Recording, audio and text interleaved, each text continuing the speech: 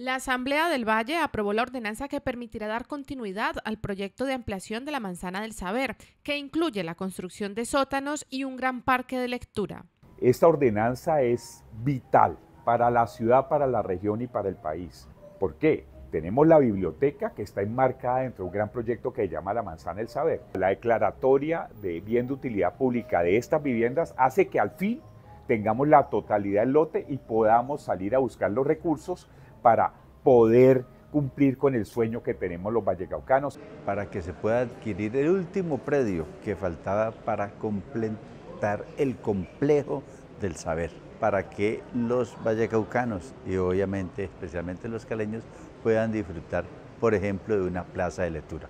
Ese es el objetivo de, este, de esta ordenanza que ya pues pasa para que la tramite la señora gobernadora. Esta ordenanza abre camino al crecimiento de uno de los espacios de aprendizaje más importantes del departamento, donde se estimula y garantiza el acceso al conocimiento de todos los vallecaucanos.